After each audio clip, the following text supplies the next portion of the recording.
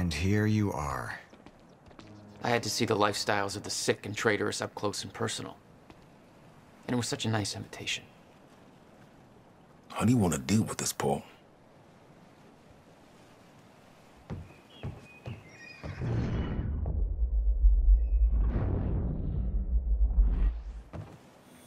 I could still try to reach Jack and make him see reason.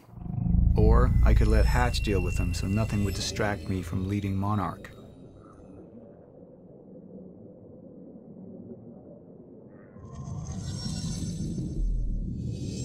Past. I've tried to change things.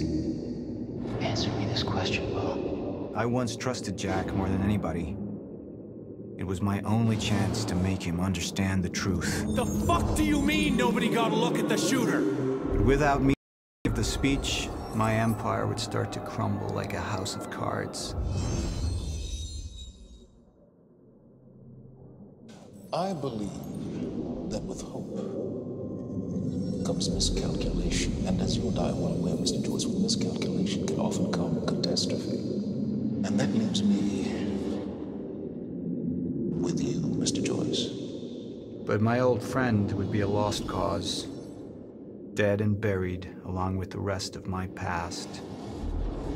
Tonight is a celebration, a celebration in face of darkness. Tonight we celebrate because I promise to you that we are prepared. Monarch would grow stronger with my presence. The plan would go forward as intended.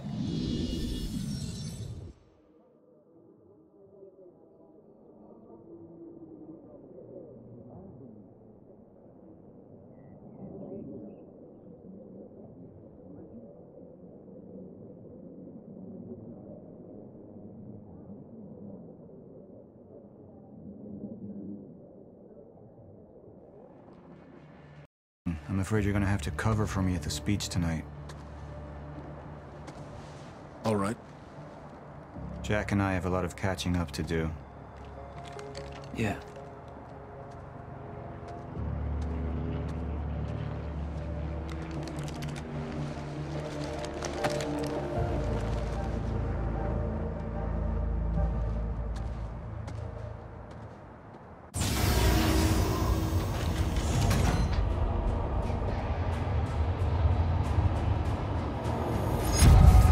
Seen where this leads. I've been to the end of time, and I've escaped it all the way to 1999, when it all started. I've tried to change things, but by trying, I only made them happen in the first place.